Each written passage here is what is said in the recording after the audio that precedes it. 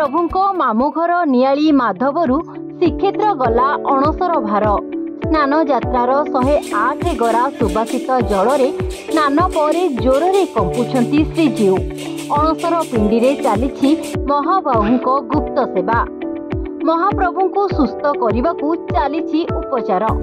ଏନେଇ ପରମ୍ପରା ଅନୁଯାୟୀ ଜଗନ୍ନାଥଙ୍କ ମାମୁଘର ନିଆଳି ମାଧବାନନ୍ଦ ଜିଉ ପୀଠରୁ ସୁସ୍ୱାଦୁ ଫଳଭାର ଶ୍ରୀକ୍ଷେତ୍ରକୁ ପଠାଯାଇଛି।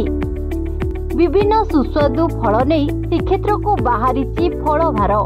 ପ୍ରାଚୀ ତଟରେ ଥିବା ମଠ ମନ୍ଦିରରୁ ଆମ୍ବ ପଣସ ନଡ଼ିଆ ସପୁରୀ ଖଜୁରୀ ସେଉ ପିଜୁଳି କଦଳୀ ଭଳି ଅନେକ ଫଳ ନିଆଯାଉଛି।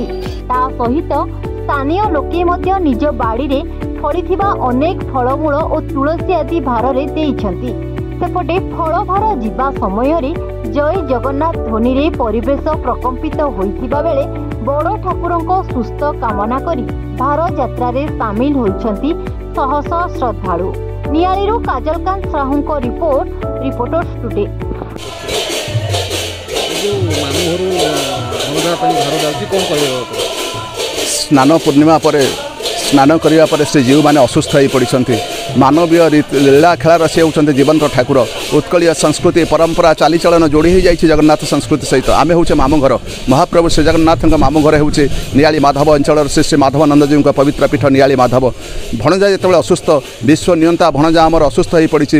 ସମଗ୍ର ମାମୁଁ ଘର ଅଞ୍ଚଳ ଆଜି ବ୍ୟତୀତ ନିଆଳି ମାଧବ ଅଞ୍ଚଳ ବ୍ୟତୀତ ଭଣଜାର ଅସୁସ୍ଥତାକୁ ନେଇ।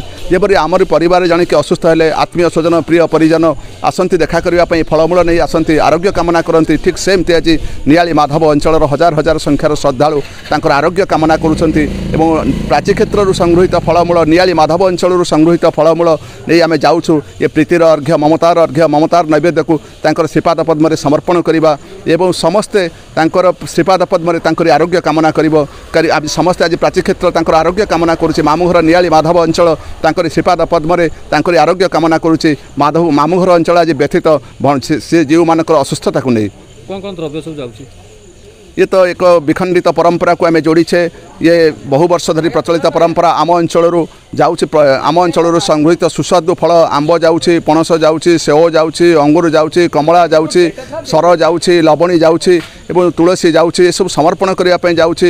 ଆପଣ ବିଶ୍ୱାସ କରିବେ ନାହିଁ ଏସବୁ ପ୍ରୀତିର ନୈବେଦ୍ୟ ଏସବୁ ଭକ୍ତିର ଅର୍ଘ୍ୟ।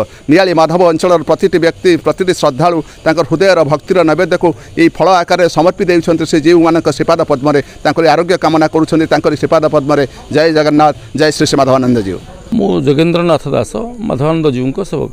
ଆଜି ଯେଉଁ ଶ୍ରୀମନ୍ଦିର ଯାଉଛି ଏଠି ମାଧବାନନ୍ଦ ଜୀବର ଯେଉଁ ଅଣସର ଭାର ଯାଉଛି ଏ ବାତରେ କ'ଣ କହିବ? ଅମ- ଅଣସର ଭାର ଏକ ଭିନ୍ନ କଥା। ଆ, ସାମାଜିକ ଚଳଣୀରେ ଓଡ଼ିଶାର ଉତ୍କଳୀୟ ପରମ୍ପରାରେ ମାନବୀୟ ଲୀଳାରେ ଜଗନ୍ନାଥ ସେ ପୂଜା ପାଉଛନ୍ତି। ତେଣୁ ପ୍ରତ୍ୟେକ ଘରେ ଯେଭଳି ଭାବରେ ଅ, ଓଡ଼ିଶାର ଉତ୍କଳୀୟ ପରମ୍ପରାରେ ଚାଲିଚଳନ ଅଛି ଜଗନ୍ନାଥଙ୍କ ମନ୍ଦିରରେ ବି ସେହିଭଳି ଚାଲିଚଳନ ଅଛି।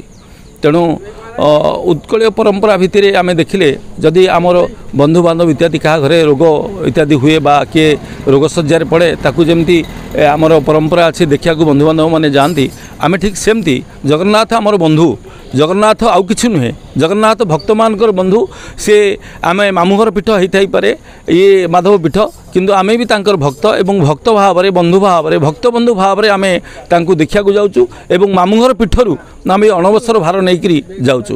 ଅଣବସର ସର ଅବସରରେ ସେ ରୋଗରେ ଥାନ୍ତି ଅସୁସ୍ଥ ଅବସ୍ଥାରେ ଥାନ୍ତି ଏବଂ ଏହି ଅସୁସ୍ଥ ଅବସ୍ଥାରେ ଆମେ ସୁସ୍ୱାଦୁ ଫଳ ବ୍ୟଞ୍ଜନ ଆଦି ଯେଉଁ ଗୁଡ଼ିକ ରୋଗରୁ ଉପଶମ କରିବ ସେହିପରି ଫଳ ଆମେ ନେଇକରି ଜଗନ୍ନାଥଙ୍କ ପାଖକୁ ଯାଉ ଏବଂ ତାଙ୍କର ଆଶୁ ଆରୋଗ୍ୟ କାମନା କରୁ।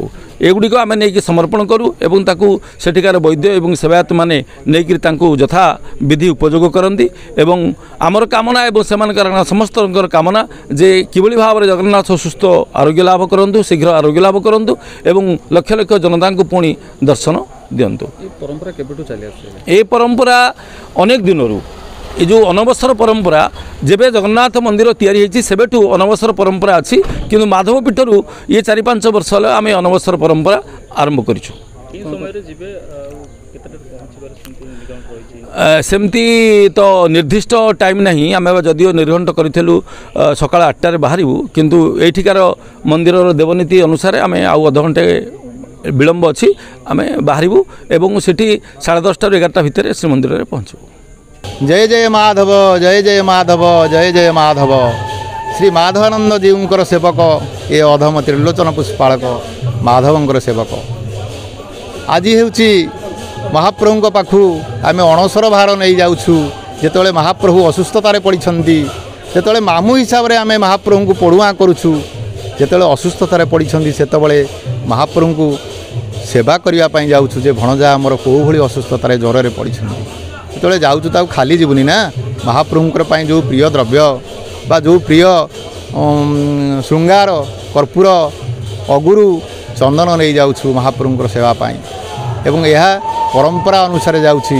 ଯେହେତୁ ମାମୁଁ ଭଣଜାର ସମ୍ପର୍କ ହେଉଛି ଦିବ୍ୟ ସମ୍ପର୍କ ଏହାକୁ ସାଧାରଣ ଲୋକ ବୁଝିପାରିବେ ନାହିଁ। ଇଏ ହେଉଛି ଭକ୍ତ ଭଗବାନଙ୍କର ସମ୍ପର୍କ। ଏ ସମ୍ପର୍କ ମହାନ ସମ୍ପର୍କ। ଯେତେବେଳେ ପଢ଼ୁଆଁ କରିବା ପାଇଁ ଖୁସିରେ ଯାଉଛୁ ଆଜି ଆମ ପ୍ରଭୁ ପଢ଼ୁଆଁ ହେବେ ସେତେବେଳେ ଅସୁସ୍ଥତା ସମୟରେ କେମିତି ଯାଇ ନ ପହଞ୍ଚିବୁ? ଇଏ ତ ଆମର ସୌଭାଗ୍ୟ ମହାପ୍ରଭୁଙ୍କ ସେବା କରିବା ପାଇଁ। ଏ ସେବାକୁ ଆମକୁ ପ୍ରଭୁ କେମିତି ବଞ୍ଚିତ କରନ୍ତୁ ନାହିଁ ଏଥିପାଇଁ ଆମେ ଆପଣମାନଙ୍କୁ ଭକ୍ତମାନଙ୍କ ମାଧ୍ୟମରେ ନିବେଦନ କରୁଛୁ ଏ ନିଆଳି ମାଧବବାସୀ ଏ ସେବାଟାକୁ ଜାରି ରଖିଥାନ୍ତୁ। ଜୟ ଜଗନ୍ନାଥ ଜୟ ଜଗନ୍ନାଥ। ଆଜିର ସବୁ କ'ଣ କ'ଣ କାର୍ଯ୍ୟକ୍ରମ ରହିଛି କେମିତି ପହଞ୍ଚିବେ କ'ଣ କ'ଣ ଦ୍ରବ୍ୟ ସବୁ ଯାଉଛି ଆଜିର କାର୍ଯ୍ୟକ୍ରମ ଆମ୍ବ ପଣସ ନଡ଼ିଆ କଦଳୀ ସପୁରୀ ଅଙ୍ଗୁରୁ ଯାହା ସୁମିଷ୍ଟ ଦ୍ରବ୍ୟ ଜ୍ୱର ସମୟରେ ଯାହା ମହାପ୍ରଭୁଙ୍କୁ ଭଲ ଲାଗେ ସେଇ ଜିନିଷ ନେଇଯାଉଛି କେତେଟାରେ ପହଞ୍ଚିବେ ଆମେ ବାରଟାରେ ପହଞ୍ଚିବୁ ମହାପ୍ରଭୁଙ୍କୁ ଅଣସର ପିଣ୍ଡିରେ ଉପଚାର ଚାଲିଛି ଅଣସର ପିଣ୍ଡିରେ ସେବା ଦେଇ ଆମେ ସେଇଠୁ ଫେରିବୁ ଏ ପରମ୍ପରା କେବେଠୁ ଚାଲି ଏ ପରମ୍ପରା ବହୁ ଆଗରୁ ଆଜ୍ଞା ଏ ପରମ୍ପରା ଆମେ ବି କହିପାରିବୁନି ଆମ ବାପା ମାନେ ବି କହିପାରିବେନି ବହୁତ ପୁରୁଣା ପରମ୍ପରା ଏ ପରମ୍ପରାକୁ ଆମେ ଉଜ୍ଜୀବିତ କରୁଛୁ ଏ ନିଆଳି ମାଧବ ଅଞ୍ଚଳବାସୀକୁ ଉଜ୍ଜୀବିତ କରିଛନ୍ତି ଆପଣଙ୍କ ମାଧ୍ୟମରେ ସମସ୍ତଙ୍କୁ ଜଣାଉଛୁ ଧନ୍ୟବାଦ ଆପଣମାନଙ୍କୁ ସାଧୁବାଦ ଆପଣମାନଙ୍କୁ